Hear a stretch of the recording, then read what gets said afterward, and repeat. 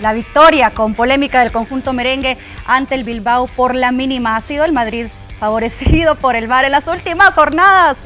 Una pregunta picante y de eso vamos a platicar a continuación. Diego, vamos contigo y el gol. Excelente, mi querida Diana. Vamos a repasar entonces las anotaciones. Ahora las puedo ver completitas, pero las tengo en mi pantalla aquí privada. Genial, gracias ahí. Vamos a ver entonces el único tanto que proviene de hecho de una falta que se genera en el área, un contacto sobre jugador del Real Madrid que se va a revisar entonces al VAR, arbitraje en esta ocasión por parte de José Luis González González, falta sobre Marcelo, González González decreta penalti y vendría quien ya tenemos pues como el principal ejecutor, el jefe para los penaltis, no del Madrid, de España me atrevo a decir, de la liga completa, el especialista Sergio Ramos anotando entonces así el único tanto de un partido trabado. Y me atrevo a decir una cosa más, el peor partido del Real Madrid desde el regreso de la liga. Pero bueno, al final del día lo que importa son los tres puntos y el Madrid los obtuvo. Uno por cero ganó al cuadro del Athletic Club. 19 penaltis consecutivos realizados de forma exitosa por parte de Sergio Ramos, ya lo conocen como Don Penal. Ahí está Sergio Ramos dándole la victoria al conjunto del Real Madrid y así consolidando aún más el liderato en tabla. Empecemos con este partido, como bien sabemos, Real Madrid buscando mantenerse a tope de la Liga Española, enfrentando a un complicado Athletic Club de Bilbao. A ver, ¿con qué expectativa entraron a este partido y con qué realidad salieron? Era el partido más difícil que iba a enfrentar el Madrid hasta el momento, ¿no? Eso es lo que mencionaste el viernes. Así es, así es. Y en efecto, así es. Eh, falta Villarreal, eh, lo que vimos ante, eh, ante el Barcelona de Villarreal lo vamos a, platicar más adelante. Pero sí, sí fue tal cual, sí fue tal cual, sí fue el, partido más difícil y, al final se vio plasmado en Muy bien, ya vamos a, hablar de, detalles a, lo largo de esta charla. Pero vayamos paso a paso eh, con este partido y empiezo con la incógnita inicial de cada partido de Real Madrid. El dibujo táctico de Zidane. A ver, ¿cómo vieron la alineación que nos regaló Zidane en este partido? Si quieren, empiezo con Diego allá en casa. Diego. Oh, pues genial, yo con gusto les doy mi punto de vista. Salió con un 4-3-3, ahora quizá cambiando un poco el rombo del centro del campo. Eh, manteniendo la estructura de los tres volantes en, el, en la contención, ¿no? en la creatividad, con Modric y con Valverde como interiores. Valverde quizá no en su mejor versión física, Casemiro como el 5 que marca el anclaje. Y luego arriba es donde me parece que quizá el partido cae en un déficit ofensivo, porque juega con las dos piezas de rotación y no con las de titularidad, si lo queremos ver así. En este partido juega Marco Asensio, que no ha venido siendo titular por la lesión que ya conocemos, y le acompaña Rodrigo. A Benzema no se le menciona porque es, eh, llamémoslo así, el estandarte del volumen ofensivo, y luego lo rodean, le colorean. Pues en esta ocasión le colorearon con lo que me parece a mí son las terceras opciones de Zidane en este momento, no por una cuestión de calidad, sino por una cuestión de estado físico. Recordemos que Hazard estaba para el partido y eso es importante, y que Vinicius había acumulado una cantidad importante de minutos. Creo que por ahí es donde el partido se termina trabando, Álvaro. Ok, entonces podemos deducir, ustedes me corrigen, que esta nueva alineación, este nuevo dibujo de Zidane confunde al propio Real Madrid. No, lo que, lo que pasa, lo que intenta Zidane en este, en este caso es eh, jugar con un Asensio como extremo por izquierda que no pisaba posiciones de extremo tal cual, sino que pisaba posición entre central y lateral y eso permitía que eh, Marcelo pudiera tener mucha más profundidad. De hecho, el, penal es porque Marcelo también podía llegar a esa zona. Eh, creo que es más bien, si bien es cierto, guarda esa estructura, como bien dice Diego, del 4-3-3, es más bien poder utilizar un carril más interior con, con Asensio y que pudiera, el que, el que usara posición de extremo era, era en este caso Marcelo. Mucho hemos platicado durante los últimos partidos de Real Madrid que ha sido el Real Madrid que ha tenido que acoplarse al estilo de juego de su rival. ¿Fue ese el caso ante el Atlético el Club de Bilbao?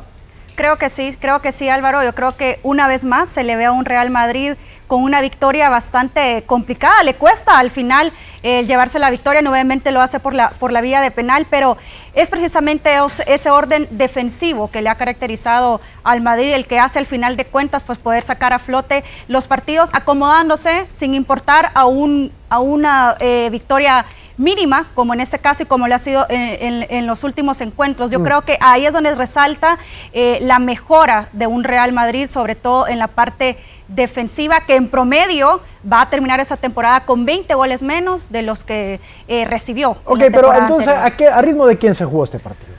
No es el mejor partido del Madrid, coincido en ese caso, no es el mejor partido del Madrid, es un partido que se juega muy en, en incluso en mitad de cancha Eh, es un partido que al final termina eh, decidiéndolo, una, una polémica, pero que a mi juicio también es un, es un penal muy bien pitado por el Es que árbitro. la polémica no es tanto eso, sino que es el hecho de que esa acción se, se, o sea, se toma como penal y hay una acción muy similar que no se toma. Ok, ya vamos a Muy, entrar muy a... de- similar, muy Pero similar, pero no, diferente. pero no igual. No, o sea, porque Muy similar, hay, que, pero hay, no que ver, hay que ver la jugada, hay que ver el movimiento del cuerpo, hay que No, ver y los que hay uno que Ok. incide eh, con la jugada, que hay una pelota de por medio y la otra no. A ver, eh, durante los primeros 69 minutos del partido, eh, eh, eh, como bien dijeron, ¿no? Creo que tú lo acabas de mencionar, Diego, un partido muy, pero muy amarrado. Al final, este partido tuvo dos momentos críticos que marca un antes y un después. El primer, la primera jugada fue un pisotón que genera un penal a favor del Real Madrid. La otra jugada fue un pisotón que genera mucha controversia porque no se le marca un penal al Athletic Club de Bilbao. Vayamos por partes y empecemos con el que sí genera un penal a favor del Real Madrid. No sé si tenemos ahí producción la jugada que podamos compartir para analizarla a detalle. Eh, Esto es esta un, Eso es. sí es penal. es un error completamente de Sí. Dani García. El, el defensa.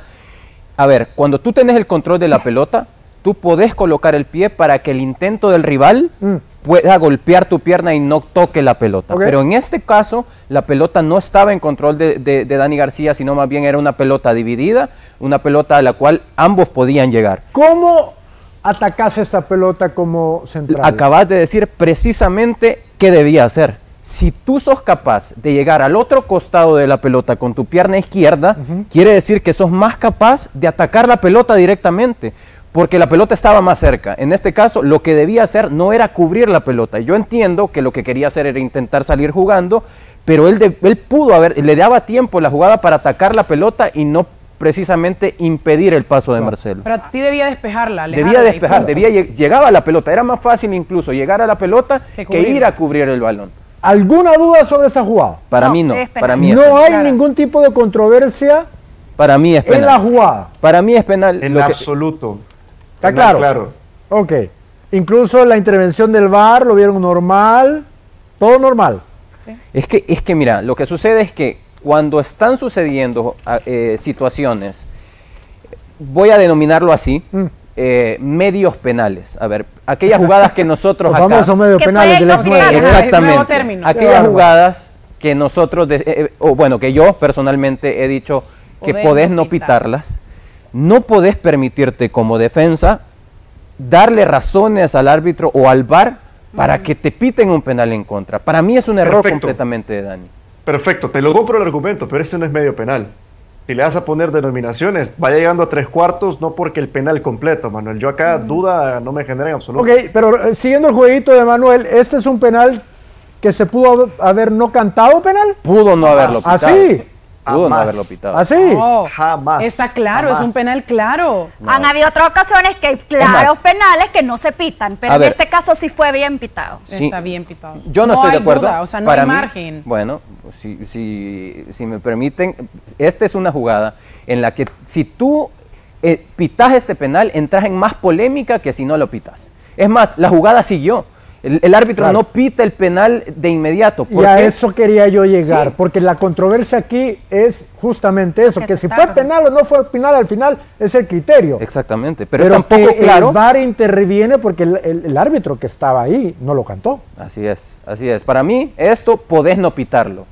Sin embargo, vas al VAR y corroborás, le- Dani García le da motivos al VAR para tener sustancia para poder Ok, pitar. creo que ahí se genera la polémica, ¿no? Así es. Ok, muy bien, pasemos entonces al segundo. No veo contento a. Diego, por cierto, no lo veo contento. Lo- Pero es lo- que, no, pero es que yo no sé qué es lo que tiene que suceder entonces en una liga profesional de fútbol para espérate. que algo sea Vayamos- un penal completo para Manuel. Vayamos ya no lo entonces, vayamos entonces a- al otro incidente, el que sí Perfecto. genera polémica porque al final Perfecto. hay una jugada, un incidente donde Sergio Ramos viene corriendo hacia el centro y se encuentra con García, donde prácticamente lo termina asaltando por completo a vista de todo mundo. No hay penal, no hay intervención, ahí hay un pisotón, Claro, él puede girar la mirada, pero creo que tiene suficientemente experiencia y rodaje de saber perfectamente bien dónde está el pie de su rival. Mm. Pero es que no lo ve. o sea, no lo ve Álvaro. Para mí, si pitas no sé si podemos retroceder. Entras en más polémica. A eso voy. Si yo pito esto como penal, entro en más polémica de no haberlo pitado. Para mí. Sergio Ramos sabe perfectamente bien a dónde está García. Fíjate que yo creo que sí sabe dónde está el cuerpo, pero no sabe perfectamente que García tiene los pies Mira cómo extiende el pie, Camila. Pero es que son movimientos que tú vas haciendo en el momento de hacer repliegue. Él no estaba haciendo un Bambi, mija. Él estaba buscando contacto. Vean el movimiento de la pierna derecha. Eso no es normal. Él buscaba contacto. Para mí, y lo encontró.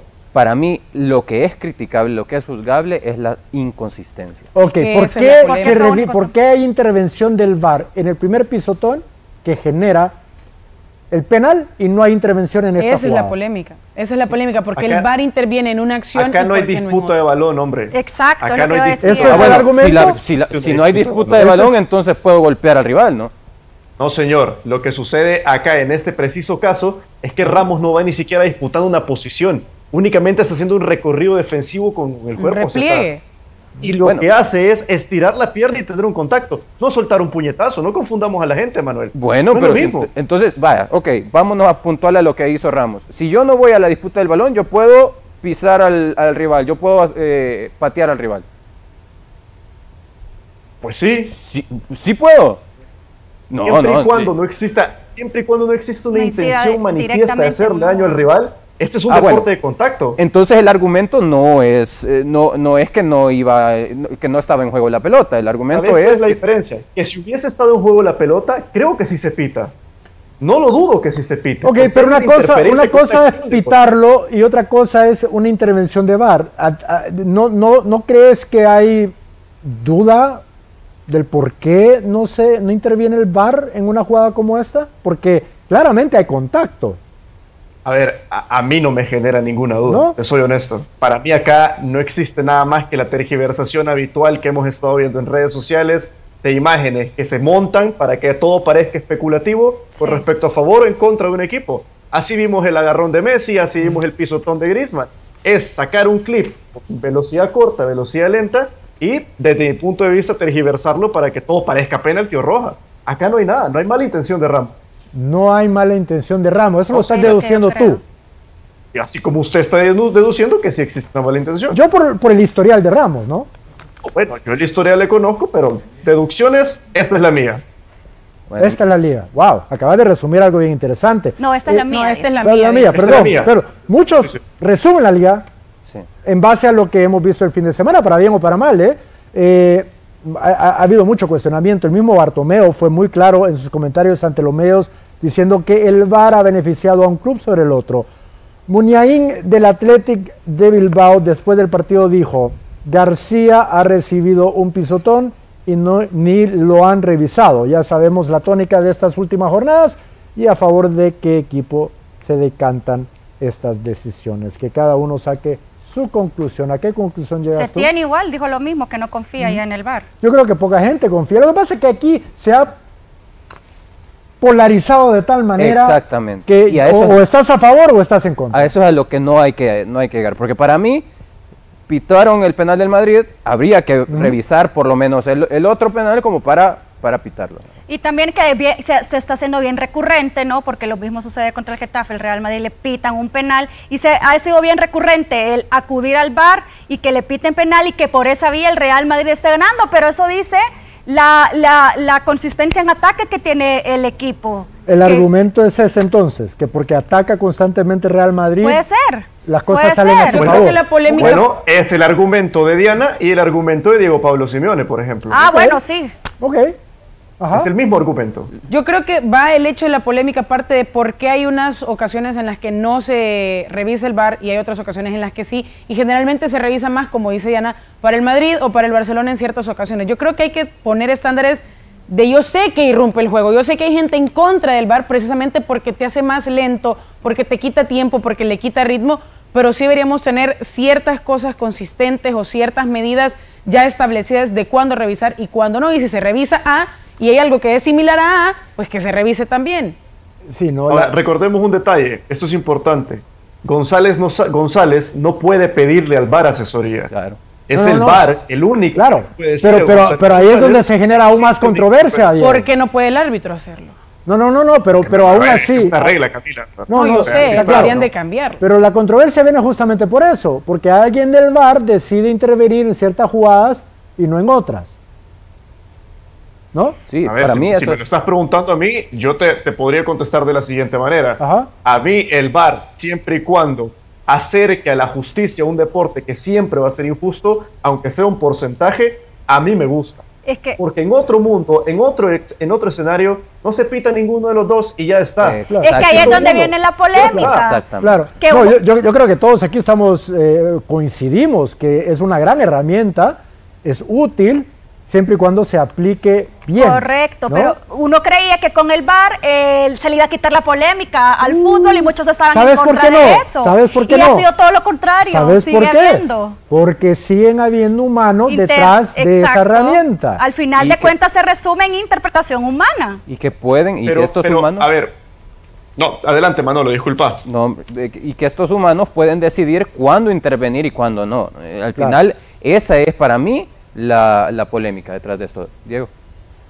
No, lo que iba a decir yo, me gusta mucho más este argumento en el que todos coincidimos que hay un ser humano que se puede equivocar o tener un acierto, acercar la justicia o equivocarse no por alejarla, sino porque es humano, que la idea de que eh, Florentino Pérez recoge un teléfono y llama a los árbitros para que le arreglen los partidos. Es que somos gente adulta y creo que la audiencia es gente adulta y se le debe respeto a la gente, por tanto, venir a un programa de televisión y decir que hay una liga mañana, que esto es de arreglo, que... No, señores, el VAR no ha servido en todos los partidos de la liga. Ahora, ¿cuál es el tabloide Maponit? Ajá. ¿Que le favorece al Valencia en décimo? ¿O que le favorece al Madrid en primero? Pero han habido coincidencias, ¿no? Han habido eh, casualidades ah, cuestionables, ¿no? Hay argumentos para que la gente y aquí voy a hablar y ojo que yo no tengo entierro en este... en este Muchas gracias. Eh, y, todos ustedes que están acá en pantalla, todas esas caritas, bien, lo saben. A mí me viene, ya saben, ¿no? Sí. Ok, por lo tanto, yo me voy a poner como abogado del diablo. No, por lo que hemos visto durante estos últimos partidos, no te deja que se te abre un poquito la puerta a dudar. Demasiadas cosas están ocurriendo que en efecto terminan beneficiando a X equipo. Que se encuentra luchando por el título contra el otro grande, ¿no? X y Y. A X y Y. Fíjate que siendo objetiva. X no le compro. Bueno, más a X que a Y. Más a X que a Y. Pero a los dos. Pero, ah, bueno, entonces le doy seis puntos a uno y le doy tres al otro, ¿quién sale ganando? y a, ver, lo que sucede es que sí se puede cuestionar el bar, es lo más sano que podemos hacer. Claro. La herramienta no es perfecta, está manejada por gente. Claro. Pero que vengamos y digamos que solo a X, no, no lo compro. Pero eso lo, veo, ¿no? Y al final por eso digo que a lo largo desde el reinicio de esta eh, temporada de la Liga Española, el gran ganador no ha sido un equipo, y el gran perdedor no ha sido otro equipo. Ha habido un gran ganador y es la, Liga Española.